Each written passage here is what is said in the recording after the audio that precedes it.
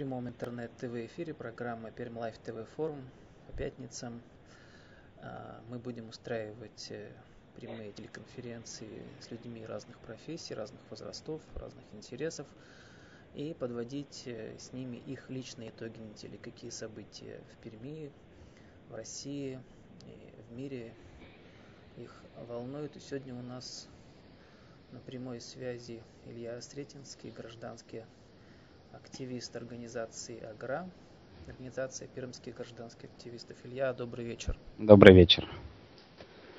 Итак, у нас с вами три события, которые вы хотели бы выделить и прокомментировать, проанализировать подоплеку этих событий, почему это вас волнует, mm-hmm. возмущает, удивляет и так далее. Давайте первое событие ваше. Да.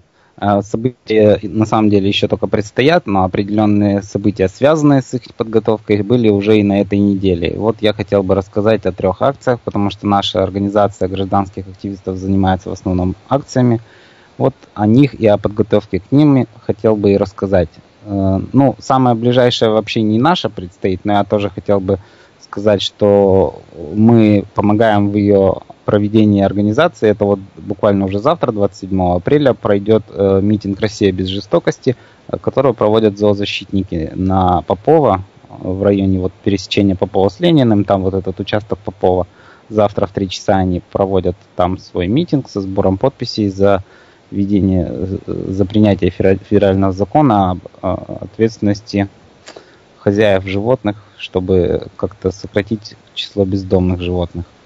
Вот. Но... Почему вы вообще посчитали, что это самое главное событие недели? Оно на самом деле не самое главное, но по хронологическому порядку просто. Следующее будет еще вот 1 мая, хочу рассказать, и 6 мая. Вот подготовка к трем таким акциям. Поэтому второе, э, это первая майс, первомайская вот демонстрация, которую опять инициативу проведения э, перехватили профсоюзы, Крайсов-Проф. А, и колонна гражданских активистов, она не, не в роли организаторов участвует. Мы проводили определенные переговоры с организаторами, какие-то определенные договоренности достигли, то есть изначально у них было требование, что все идут только с лозунгами с такой социально-трудовой направленности, ну, тематика самих профсоюзов. Удалось договориться, что тема будет более широкая, но в итоге они прислали протокол собрания, в котором опять э, ближе к первоначальному их варианту.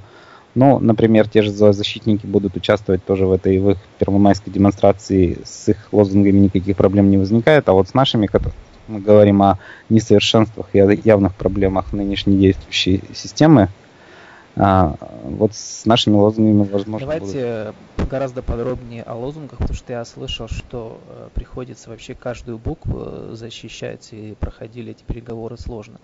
То есть э, как-то странно выходить на демонстрацию, но каждое слово нужно, как в советские времена, через цензуру проводить. А, вот тут есть такая особенность, что которые акции мы сами подаем заявки и являемся формальными организаторами, тем мы заранее в нашей заявке, в уведомлении обозначена цель митинга и регламент, который позволяет э, достаточно широкую тему, в том числе обсуждений вот всех уровней власти, федерального, регионального, муниципального, и представители обсуждать и какие-то вносить предложения о изменениях, реформах. Вот. А то заявку, которую подавали на 1 мая э, профсоюзы, они изначально подали ее с очень узкой темой.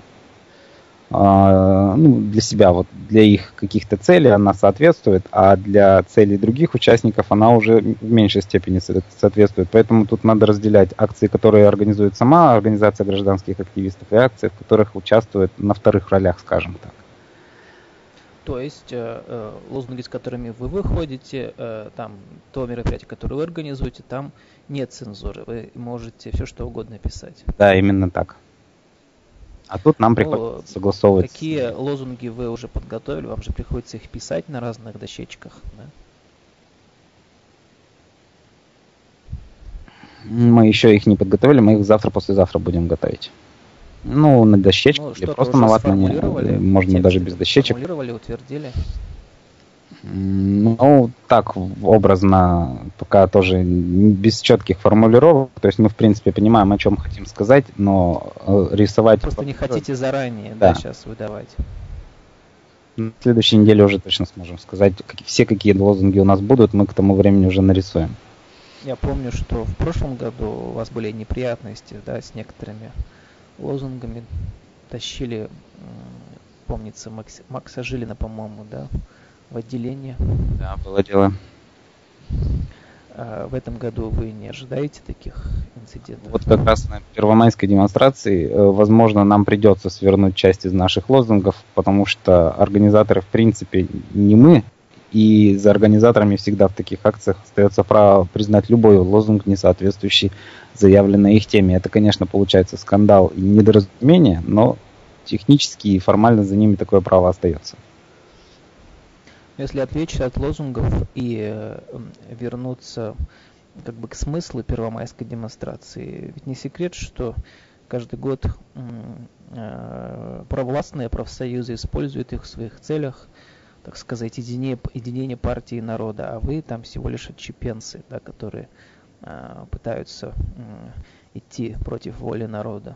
Есть такой момент, что в профсоюзах раб, э, работники основных предприятий, в которых, конечно же, руководство это, как и в любом другом крупном бизнесе, это представители кремлевской партии, Поэтому ничего удивительного, что и сами профсоюзы этих э, заводов тоже поддерживают эту линию. Их, конечно же, много как и сотрудников на таких предприятиях. Но мы участвуем в этой колонии, потому что считаем, что это неправильно, э, когда организация вот профсоюзная получает такое монопольное право на участие в первомайской акции.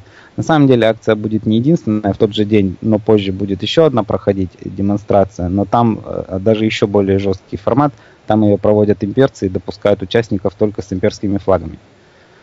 Вот, никакой другой фор, э, символики, флагов, лозунгов они не допускают. Только то, э, ну, в той стилистике, которыми они торгуют. Ну, надо сказать, что впервые в истории проведения первомайских демонстраций в этом году э, Агра будет вести прямую интернет-ТВ-трансляцию, потому что да. вы являетесь одним из учредителей канала Пермлайф ТВ, и у вас есть такое право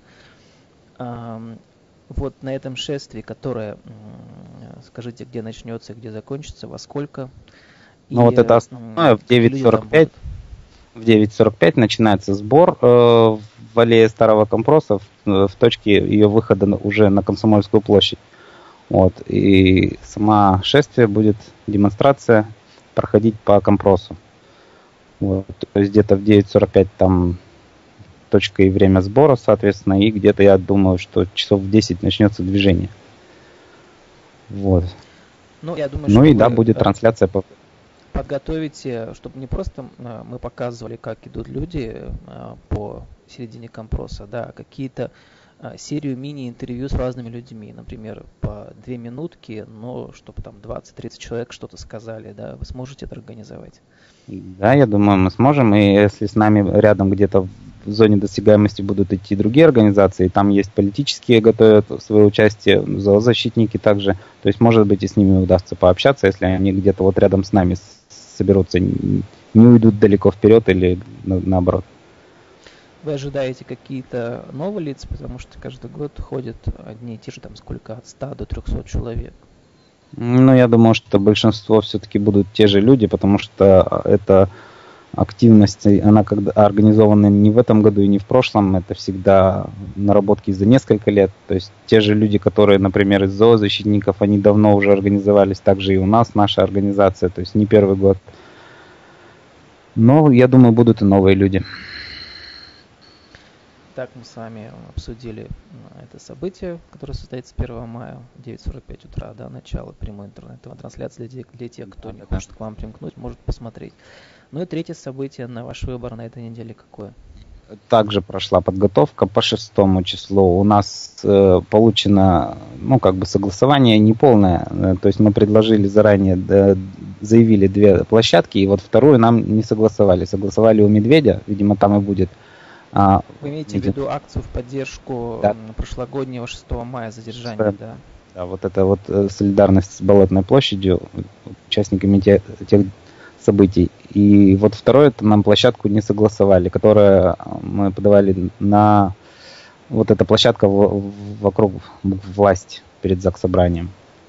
Якобы эта территория занята вот этими двумя зданиями самого Заксобрания и филармонии, а так как одно из них является филармонией, то весь этот участок принадлежит вот этому культурному заведению, и типа вроде как поэтому нельзя там провести митинг. Это заявление спорное, я думаю, мы будем выяснять еще подробности, насколько оно правомерно было, отказ в этом месте. Но на данный момент э, где это состоится?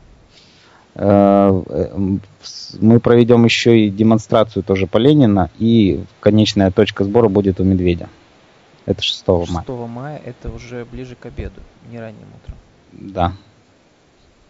Пока точное время вы не знаете. Мы еще тоже все детали уточним, э, во сколько официальный сбор уже для всех участников. Мы заранее сами собираемся, там подготовка, установка, то есть такой подготовительный момент – и потом уже начинается официальная часть мероприятия, мы это все сообщим позже. Ну, давайте шире взглянем на вот эту годовщину. Да. А, вчера прошла прямая линия с Путиным, и в интернете было много шуток по этому поводу, таких горьких. И одна из самых, может быть, ярких наблюдений было такое, что Россия разделилась на тех кто смотрит прямую линию, и тех, кто смотрит на прямую трансляцию суда над Навальным. Я смотрел суд над Путин мне да, ничего нового ну, скажет, я его даже смотреть не стал. Ну, Алексей Венедиктов с эхом Москвы спросил его про сталинские нотки в управлении и так далее. В общем, и упомянул там и Навального, и Э, всех несогласных и так далее. Путин, как обычно, в своей манере, ответив, нич- ответил, ничего не ответив. А, вот, как вы смотрите на этот год? Прошел он напрасно. А, мы проиграли, ну, те, кто ходит, а, кто причисляет себя к болотной Точно не проиграли, и год не прошел зря. Вот это принятие, начало принятия закона Магнитского – а сейчас вот в Ирландии начинает приниматься, это первая страна, которая ну, принимает этот закон. То есть этот процесс еще в самом начале, но он уже начался. Это вот, наверное, такие законы Магнитского больше всего воспринимаются плавающей верхушкой. Вот все народные волнения их мало волнуют, потому что они не связывают свою судьбу с Россией, как видно из их действий, а вот с западными странами, где у них учатся дети, э, куплена недвижимость, вот там для них существенно. Ну, пока пострадали только а, маленькие, средние чиновники, да, высший состав там, ни друзей Путина никто еще не прищемил, ни его самого. Да. А, и еще пострадали дети-сирот из России. Да, действительно, прикрываются детьми, как последние, не знаю, даже с кем сравнить. Некоторые СМИ сравнивают с террористами, они тоже так делают. Возможно, это действительно удачное сравнение, потому что прикрываться детьми, тем более сиротами, тем более сиротами-инвалидами, даже теми, которых уже нашли родители, и процесс был буквально вот уже утрясти в формальности, отказать таким детям, это вообще, по-моему, последнее дело. Тем не менее, наша власть идет и на это. Ну а как, э, э, вернемся вновь в Пермь, на уровень Перми, вот я наблюдал за вами, за, ваш, за вашими соратниками. Вот я не, не замечаю увеличения количества сторонников. Все те же старые лица. Многие вас считают ненормальными, городскими, сумасшедшими, дем шизо и так далее.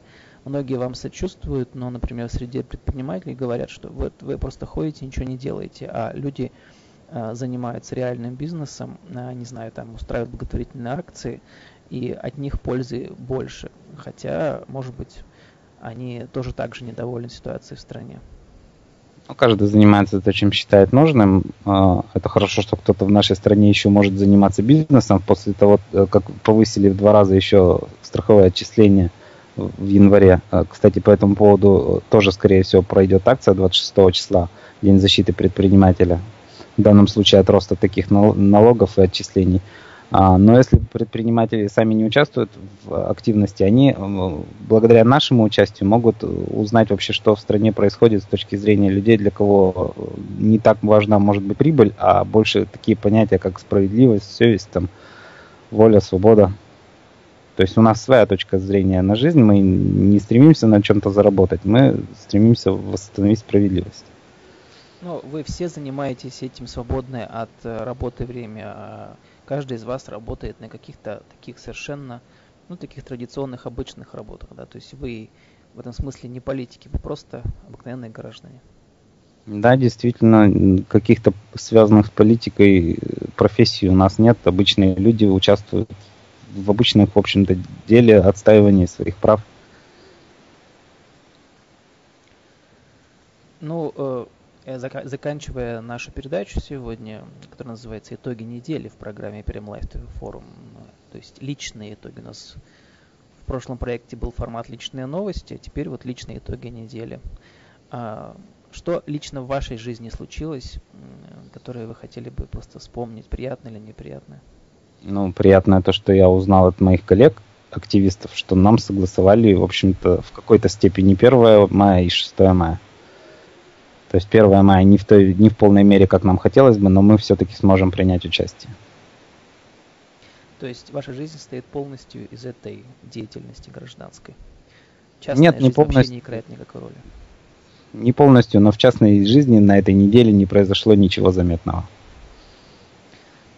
Ну что ж, увидимся на прямой интернет-ТВ-трансляции 1 мая. Это был Илья Сретенский, гражданский активист организации АГРА, организации Спасибо. гражданских активистов города Перми. До свидания. Спасибо, до свидания.